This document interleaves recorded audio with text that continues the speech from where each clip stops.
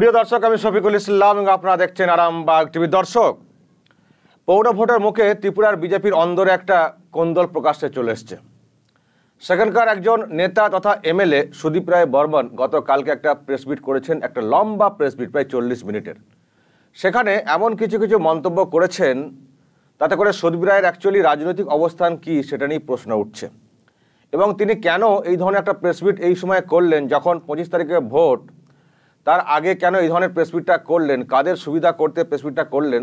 সেটা নিয়েও কিন্তু প্রশ্ন উঠছে। কারণ যে ধরনের মন্তব্য করেছেন প্রেসমিটে সেটা আর যাই হোক, শাসক দলের নেতা হিসেবে কেউ কিন্তু এইভাবে অন্তত ভোটের মুখে করতে পারেন না। শাসক দলের নেতাদেরকে সতর্ক করছেন এমনভাবে প্রেসমিট করে, এটা যে একটা বাজে বার্তা যাচ্ছে সাধারণের মধ্যে যে সত্যি বিজেপির অন্দরে তার মানে কত কি হচ্ছে এবং বিজেপির নেতারাই নেতাদেরকে বিশ্বাস করতে পারছেন না, নেতাদের নেতৃত্ব নিয়ে প্রশ্ন তুলছেন, তাহলে সেই দলকে আমরা কি করে ভরসা করব? এই প্রশ্ন কিন্তু অলরেডি উঠতে শুরু করছে। সেই জন্য অনেকে বলছেন যে, তাহলে কি সুদীপ রায় বর্মন বিজেপির বিভীষণ হয়ে দাঁড়াচ্ছেন? অর্থাৎ ঘরশত্রু বিভীষণ হিসেবে কি কাজ করছেন সুদীপ রায় বর্মন? আসলে তার এই উদ্দেশ্যটা কি? তিনি কি চান যে বিজেপি পৌর ভোটে জয়লাভ করুক, নাকি কাউকে সুবিধা করে দেওয়ার চেষ্টা করছেন? আর এ নিয়ে আরেকটা বিষয় উঠতে শুরু করেছে। ওনাকে বলছেন যে সুদীপ রায়কে দিয়ে একটা খেলানোর চেষ্টা করছে তৃণমূল কংগ্রেস। কারণ গতকালকে যখন এই ধরনের প্রেস মিট করেছেন, তারপর আমরা দেখেছি যে সুদীপ রায় বর্মনের হয়েই বেশি আওয়াজ তুলতে তৃণমূল কংগ্রেসকে। জোর গলায় তৃণমূল কংগ্রেস নেতারা বলছিলেন যে বিজেপির ক্ষমতা আছে সুদীপ রায় বর্মনকে বহিষ্কার করার। মানে এই যে একটা ইন্ধন দেওয়া বা এই ধরনের একটা বিষয়টাকে, একটা বলার চেষ্টা মানে সুদীপ রায় বর্মনের হয়ে অনেক বেশি গলা ফাটাচ্ছে গতকাল থেকে তৃণমূল কংগ্রেস। সেই জন্যই অনেকে বলছেন যে যে অ্যাকচুয়ালি সুদীপ রায় বর্মন যে প্রেস মিটটা করলেন গতকালকে, কাদের সুবিধা করে দেওয়ার জন্য করলেন? আমি দর্শক, আমি একটা লম্বা প্রায় চল্লিশ মিনিটের প্রেস মিট সবটা আমি আপনাদেরকে দেখাবো না। আমি কিছু কিছু অংশ জাস্ট দেখাবো, যেটা আমারও শুনে মনে হচ্ছে যে এই কথাগুলো একজন শাসক দলের নেতা হিসেবে কি করে বলতে পারেন? এখানেই তো একটা প্রশ্ন জাগছে যে সত্যিই তিনি কি শাসক দলের ভালোর জন্য, মঙ্গলের জন্য কথাগুলো বলছেন নাকি শাসক দলকে বিপদে ফেলার জন্য বলছেন? শাসক দল মানে ওখানে বিজেপি। বিজেপিকে তাহলে বিপদে ফেলার জন্য এরকম কথা বললেন? নিজে বলছেন আমি বিজেপির কার্যকর্তা, একনিষ্ঠ কর্মী, একনিষ্ঠ ইত্যাদি কথা তিনি বলছেন। কিন্তু এটা বলার পাশাপাশি যে ধরনের মন্তব্য করছেন সরকারের সম্পর্কে, স্বরাষ্ট্রমন্ত্রীর সম্পর্কে লিডারশিপের সম্পর্কে অ্যাকচুয়ালি তাহলে এটা কি?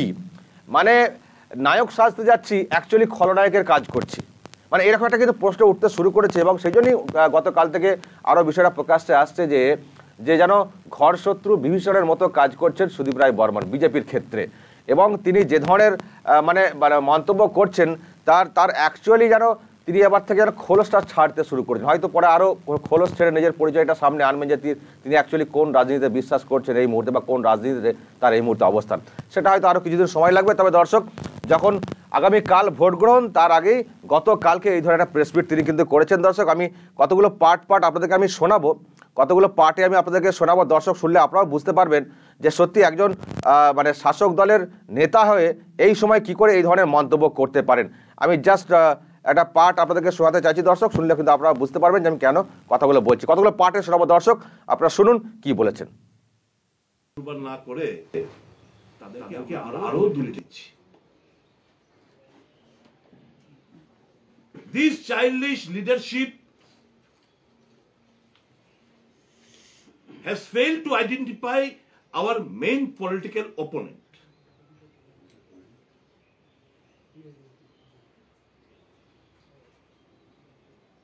Police আজকে টোটো Jagannath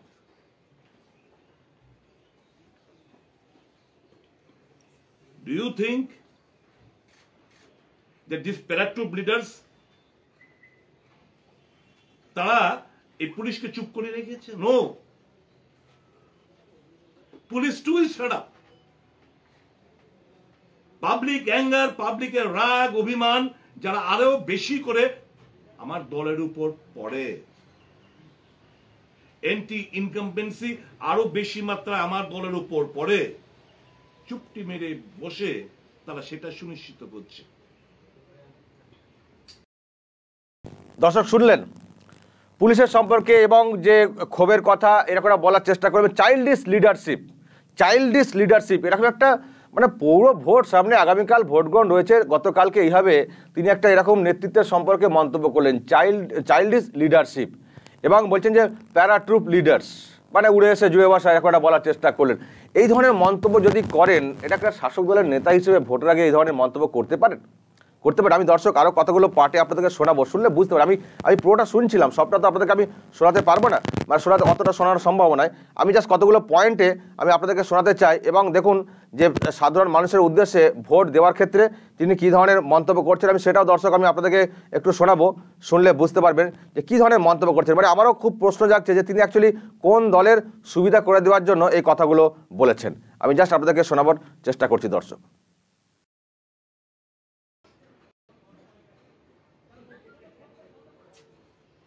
আমার ক্লাবগুলো বিভিন্ন ক্লাবগুলোর কাছে আমার এপিল থাকবে। আপনাদের স্বাভিমানে আঘাত লাগে না? যে বহি বহিরাগত কিছু ছেলেরা এসে আপনার পাড়ার লোকজনের উপর আক্রমণ ছানাচ্ছে বাড়িঘর ভাঙচুর করছে, মা বোনদের গালাগাল করছে, আপনাদের স্বাভিমানে আঘাত লাগে না? I appeal to all the clubs of Agartala Municipal Corporation. Please ensure the safety and security of your localities. And ensure that no outsiders are made available on the day of polls or prior to এই যে দুদিন রয়েছে নির্বাচনের আগে এটা আপনারা করবেন Once the police has failed, miserably failed to protect the lives and properties. Now I urge upon the common people to resist those evil forces who are not BJP fellows. In disguise, they are playing a foul game. They are trying to help the communists to have its foothold once again in the state of Tripura. ছদ্মবেশী আমার appeal থাকবে সকলের কাছে ভয় পাবেন না। বেরিয়ে আসুন আপনারা। প্রতিবাদ করুন, প্রতিহত করুন, রুখে দাঁড়ান।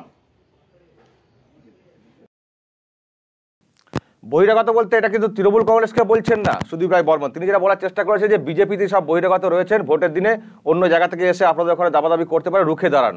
এবং বেরিয়ে আসুন ভোট দিন। এবং এটাও বলেছেন আমি কিন্তু রাস্তায় নামবো ভোটের দিনে। সবাই ভোট দেবেন, রুখে দাঁড়ান। এখন এটা এখানেই প্রশ্ন যে রুখে দাঁড়ান মানে কার বিরুদ্ধে রুখে দাঁড়ার কথা বলছেন? যদি তিনি বলেন যে যারা এখন দলটা চালাচ্ছেন চাইল্ডিস লিডার, তা সেখানে সব বহিরাগতরা এসে গেছেন বাইরে থেকে মানে বাইরে মানে ওই এলাকার বাইরে, এরা অন্য রাজ্যের বাইরে, এরকম বলার চেষ্টা করেছেন। এবং রুখে দাঁড় রুখে দাঁড়ান মানে কীভাবে রুখে দাঁড়াবেন? তার মানে রুখার একটাই তো উপায় ভোটের দিনে ভোট দেওয়া। যদি তারা মানে রুখে দাঁড়াতে বেরিয়ে এসে ভোট দেন, ভোট দেওয়ার কথা যদি বলে, তাহলে কাকে তারা ভোট দিবেন? যাদের বিরুদ্ধে অভিযোগ, সেই লিডারশিপের বিরুদ্ধে যে অভিযোগ, নিশ্চয়ই তাহলে তাদেরকে তারা ভোট দেবে না। রুখে দেওয়ার মানে তো উল্টো দিকে ভোট দিয়ে তাদেরকে প্রতিহত করা।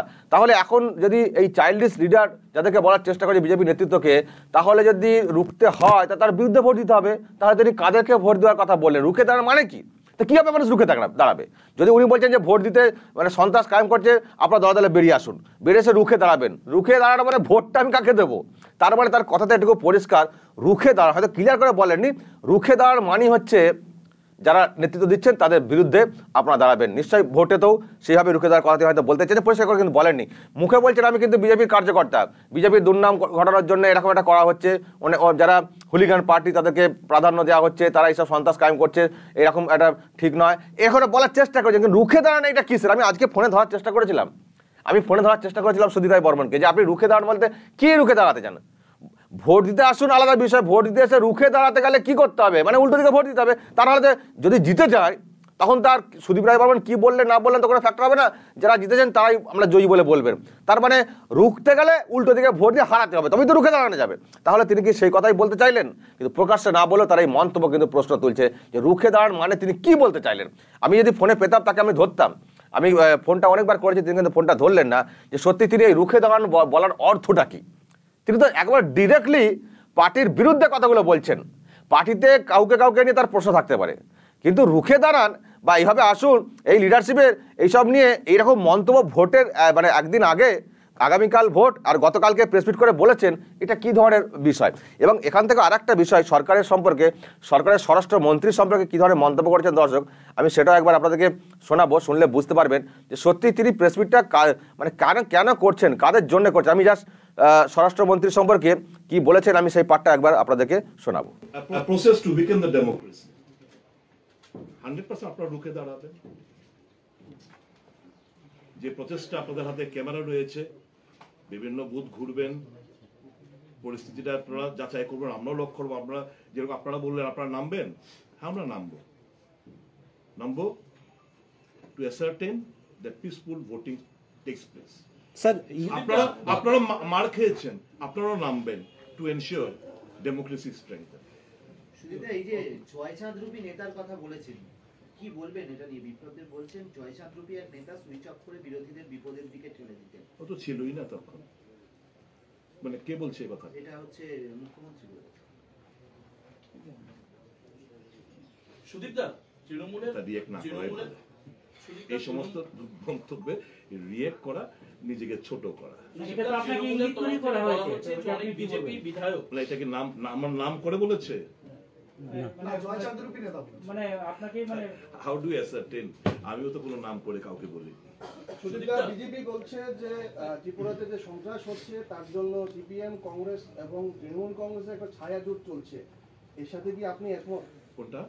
ত্রিপুরায় যে এখন সন্ত্রাস চলছে তার জন্য বিজেপি দাবি করছে যে তৃণমূল কংগ্রেস কংগ্রেস এবং সিপিএম এর একটা ছায়া জোট সেই সন্ত্রাসের পেছনে অন্যতম দায়ী। আপনি কি তার সাথে একমত? সরকার ভূমিকা নেওয়া প্রয়োজন ছিল। কেন এখানে সন্ত্রাস হবে? আরক্ষা প্রশাসন? হ্যাভ ইউ এভার এখন আমি স্বরাষ্ট্রমন্ত্রীকে উদ্দেশ্য করে বলছি, আমাদের রাজ্যে। আইন শৃঙ্খলা রক্ষার দায়িত্ব কার? স্বরাষ্ট্রমন্ত্রীর। উনি যদি ক্লেম করে থাকেন নিশ্চয়ই ইনভেস্টিগেশন কিংবা বিভিন্ন তথ্য সংগ্রহ করেছেন। Let it be place let it be made public একটা স্বরাষ্ট্রমন্ত্রী হিসেবে একটা স্টেটমেন্ট নেই এখন পর্যন্ত। যে হুলিগানিজম বরদাস্ত করব না, সন্ত্রাস আমি রুখব। জনগণকে আশ্বস্ত করার মতো একটা স্টেটমেন্ট নেই। হোয়াট ডাজ দ্য স্বরাষ্ট্রমন্ত্রী থিঙ্ক অফ হিমসেলফ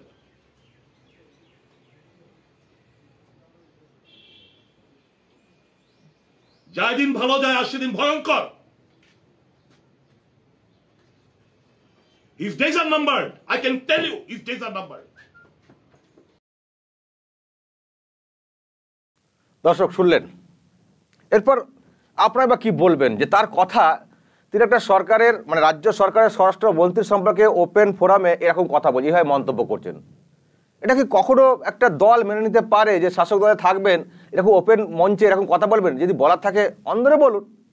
এটা একটা দলের একটা শৃঙ্খলা রয়েছে। আমি জানি না যে কেন এখনও তাকে বহিষ্কার করেনি বিজেপি। তাতে তাকে তো বহিষ্কার করে দেওয়া উচিত। যে একটা দল যে সরকার চালাচ্ছে, সেই দলের একজন এমএলএ হয়ে তিনি ওপেন ফোরামে এইভাবে চ্যালেঞ্জ করছেন, এইভাবে স্বরাষ্ট্র মন্ত্রীকে উদ্দেশ্য করে এরকম কথা বলছেন? মানুষের কাছে কী বার্তা যাচ্ছে? আর এই যে তিনি আবার বলছেন রুখে দাঁড়ান, তাহলে তিনি যখন রুখে দাঁড়াতে বলছেন এবং মানে সরকারের ভূমিকা নিয়ে এইভাবে কড়া সমালোচনা করছেন, এইভাবে প্রশ্ন তুলছেন, তো সেখানে রুখে দাঁড়ানো মানেটা কি? কি তাহলে বলতে চাইলেন? সুতরাং দর্শক মেসেজটা কিন্তু পরিষ্কার যে অ্যাকচুয়ালি কি বলতে চাইছেন সুদীপ রায় বর্মা, এটাই হচ্ছে সব থেকে প্রশ্ন যে তাহলে কি তৃণমূল কংগ্রেস তাকে তাহলে এখন এবারে খেলাতে শুরু করেছে? মানে ভোট প্র- প্রচার পর্ব শেষ, যারা গেছিলেন কলকাতা থেকে, রাজ্য থেকে, তারা সব চলে এসছেন। তাহলে এবার কি দায়িত্বটা সুদীপ রায় বর্মনকে দেওয়া হয়েছে যে ভোটের দিন কাজটা তার হয়ে- তাদের হয়ে করে দেওয়ার জন্য? আর সেজন্যই বলছিলাম, দর্শক, তাহলে কি সুদীপ রায় বর্মন এই মুহূর্তে বিজেপির ঘরশত্রু বিভীষণ? দলকে ক্ষতিগ্রস্ত করতে তিনি কি এইভাবে নামছেন? এতদিন প্রচার পর্ব চলছিল, বিজেপির তরফ থেকে বলা হয়েছিল, তাকে কমিটিতে রাখা হয়েছে, প্রচারে তাকে ডাকা হয়েছে, আসেননি। যখন প্রচার পর্ব শেষ, ভোটের দিনে বলছেন, আমি নামবো রাস্তায়। মানে বলছে নিশ্চিত ভোট, শান্তিপূর্ণভাবে ভোট করাতে আমি রাস্তায় নামবো। সরকার চলছে আপনাদের, যদি আপনি বিজেপির নেতা বলে মনে করেন, তো আপনাকে আবার মানে নিশ্চিত করে মানে রাস্তায় নামবো। এটা কি করে আপনি কথাগুলো বলছেন? তার মানে কি অ্যাকচুয়ালি বলতে চাইছেন? কাদের সুবিধা করে চাইছেন? এই প্রশ্ন কিন্তু উঠছে দর্শক। যে সত্যিই সুদীপ রায় বর্মন অ্যাকচুয়ালি চাইছেনটা কি? তবে দর্শক, একটু ব্যাকগ্রাউন্ড আপনাদেরকে শুনিয়ে রাখি দর্শক সুধীর রায় বর্মনের বাবা সমীর বর্মন। যে সেখানে কংগ্রেসের সরকার চলছিল ত্রিপুরাতে। সুধীর মজুমদার ছিলেন ত্রিপুরার মুখ্যমন্ত্রী। সেই মাঝপথে তাকে সরিয়ে তিনি কিন্তু মুখ্যমন্ত্রী হয়েছিল মানে তার বাবা মানে মানে সুদীপ বর্মনের বাবা সমীর বর্মন, তিনি কিন্তু মাঝপথে কংগ্রেসের তখন মানে সরকার চলছিল, মুখ্যমন্ত্রীকে সরিয়ে তিনি কিন্তু মাঝপথে মুখ্যমন্ত্রী হয়েছিলেন। এখন এটাই প্রশ্ন, সুদীপ বর্মন কি সেটা চাইছেন যে এইভাবে একটা চাপ তৈরি করব, একটা ভাঙনের একটা বিষয়, একটা জানান দেব, তাহলে বিজেপির শীর্ষ নেতৃত্ব তার তার কথাগুলো শুনবেন, শুনে বিপ্লব দেবকে সরিয়ে তাকে মুখ্যমন্ত্রী করার কথা বলবেন। অর্থাৎ বাবা যে পথে হেঁটে মুখ্যমন্ত্রী হয়েছিলেন মাঝপথে, সেই মাঝপথে কি আবার মুখ্যমন্ত্রী হওয়ার চেষ্টা করছেন? সুদীপ বর্মন, এই প্রশ্ন কিন্তু ত্রিপুরার রাজনীতিতে ঘুরপাক কাটছে দর্শক, কি বলবেন? আপনাদের কি মনে হয়, কেন এই ধরনের মন্তব্য করছেন এই সময় হঠাৎ? কাকে সুবিধা করে দেওয়ার জন্য এরকম একটা প্রেস মিট করলেন? দুদিন আগেই ভোটের। নিশ্চয়ই আপনাদের আপনাদের কমেন্ট থাকতে পারে, অবশ্যই কমেন্ট করবেন। কমেন্ট বক্সে নজর রাখবেন আরামবাগ টিভিতে